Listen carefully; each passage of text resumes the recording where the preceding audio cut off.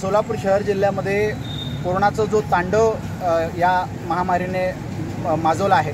त्या महामारीचे सर्वात जास्त मृत्युदुखी पडलेले जे असतील ते आजची तरुण पिढी आहे.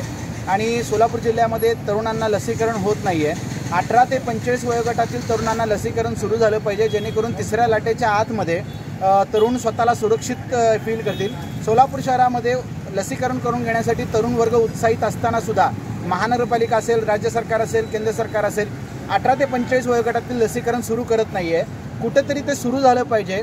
या मागणीसाठी आज मी सोलापूर शहरामध्ये गांधीगिरी पद्धतीने मागणी केली की बाबा सोलापूर शहरामध्ये अठरा ते पंचेचाळीस वयोगटातलं लसीकरण सुरू झालं पाहिजे. यासाठी मी आज चौकामध्ये गांधीगिरी पद्धतीने या राज्य सरकारला या जिल्हाधिकाऱ्यांना या महापालिका प्रशासनाला अक्कल यावी त्यांना जाग यावी आणि लवकरात लवकर अठरा ते पंचेचाळीस वयोगटातील तरुणांसाठी लसीकरण त्यांनी सुरू करावे. या मागणीसाठी आज मी इथं उपस्थित आहे.